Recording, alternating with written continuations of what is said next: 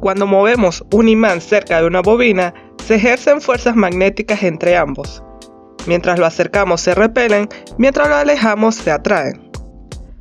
Además, si luego conectamos la bobina a un galvanómetro y repetimos la acción, se induce una corriente en ella, cuya dirección depende del movimiento del imán y también de su polaridad.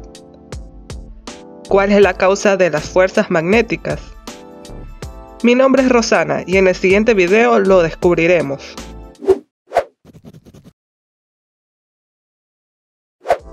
Sabemos que la bobina de cobre es no ferromagnética, no se siente ni atraída ni repelida naturalmente por el imán.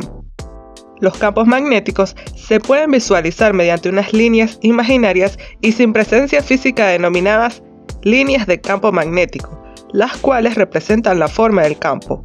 En el caso del campo magnético generado por un imán, por convención, las líneas de campo salen de una zona del mismo al que denominamos polo norte y vuelven a otra denominada polo sur, y es en las proximidades de estos dos polos donde más juntas se encuentran las líneas de campo y como consecuencia donde mayor intensidad se manifiestan los fenómenos magnéticos. La ley de Ampère establece que una corriente eléctrica produce un campo magnético a su alrededor, cuya dirección está dada por la regla de la mano derecha.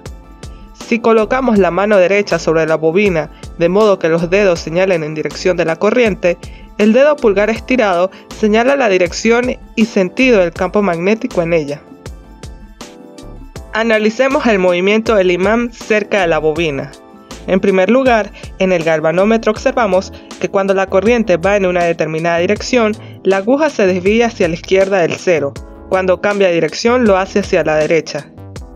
Mientras acercamos el imán a la bobina, la aguja del galvanómetro se desvía hacia la izquierda del cero.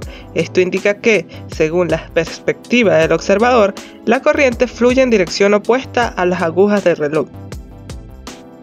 Mientras alejamos el imán, la dirección de la corriente es contraria a la anterior, es decir, fluye en dirección de las agujas del reloj. Cuando cambiamos la polaridad del imán y hay un movimiento relativo entre este y la bobina, cambia la dirección de la corriente producida por dicho movimiento. Por lo tanto, cuando acercamos el polo norte del imán a la bobina, según la perspectiva del observador, la corriente circula en dirección opuesta a las agujas del reloj y cuando dicho polo se aleja, circula en dirección contraria. Al invertir la polaridad del imán, la dirección de la corriente se invierte en cada caso.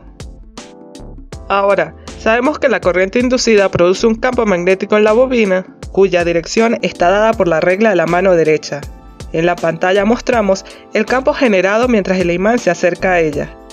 Observemos que la bobina actúa como un imán, con el polo norte en su cara izquierda y el polo sur en la derecha. Dado que los polos iguales se repelen, la bobina y el imán, mientras éste se acerca, se repelerán, Mientras alejamos el imán, se induce una corriente en dirección contraria a la anterior, es decir, en sentido de las agujas del reloj. Esta corriente también produce un campo magnético en la bobina y en este caso su cara izquierda actúa como un polo sur y la derecha como un polo norte. Dado que los polos contrarios se atraen, la bobina y el imán, mientras éste se aleja, se atraerán.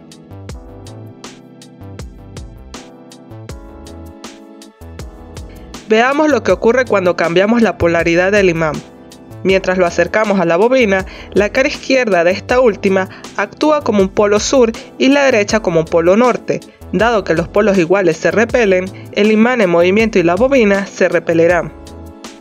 Mientras alejamos el imán, la cara izquierda de la bobina actúa como un polo norte y la derecha como un polo sur. Dado que los polos contrarios se atraen, la bobina y el imán, mientras éste se aleja, se atraerán. Por lo tanto, mientras acercamos ya sea al polo norte o sur del imán a la bobina, la corriente inducida genera un campo magnético que hace que ambos se repelan.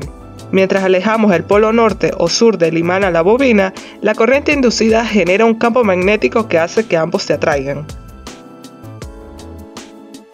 En consecuencia, a pesar que la bobina es no ferromagnética, ésta se siente atraída o repelida por el imán en movimiento, debido a que la corriente inducida genera un campo magnético que se opone al movimiento del imán.